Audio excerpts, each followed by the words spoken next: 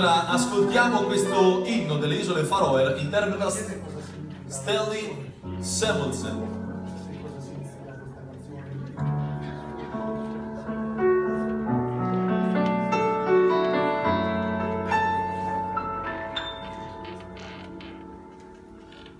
Önsligt och kallt och nått Kravor oktober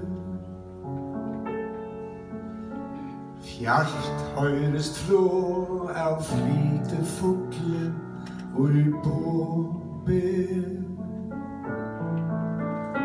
At om kærløgn og sang og søvn Ta i valdar oktober. Om sang og søvn Antje håp er. Minkande maner i tvoidrotter vau.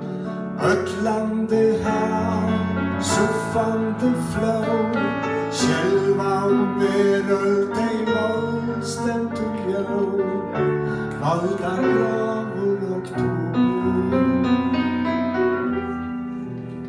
Om sang og søvn, øynans hår är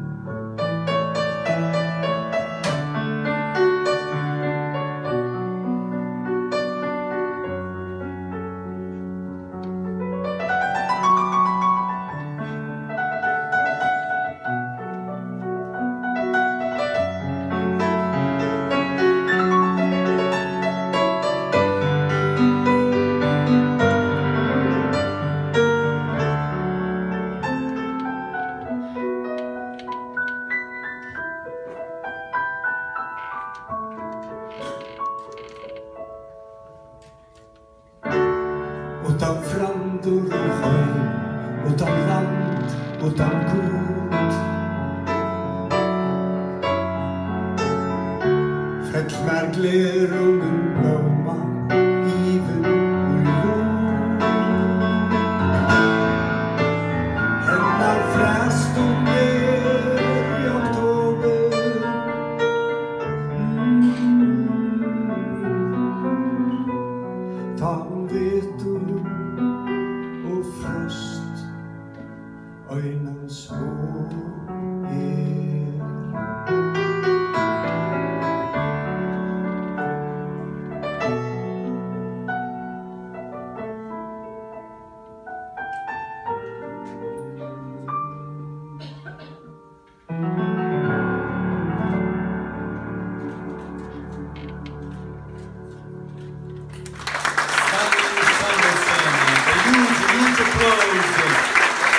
Stanley Samuelson. Thank you so much. So kind of you. Thank you for being here. And for your present to Rodolfo and to us all. Eh, adesso, now, Marco, and then the president uh, of uh, Club of Quality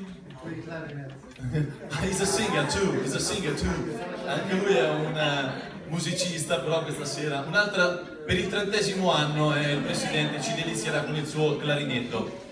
Thank you so much. Adesso Marco traduci no, il- l'inno dal farorese. No, io ho capito solo eh, carne di balena, però cioè, a un certo punto, ma vabbè. Procediamo dopo questo piccolo fuori programma, sovvertiamo un pochino la scaletta, ditemi voi se procediamo.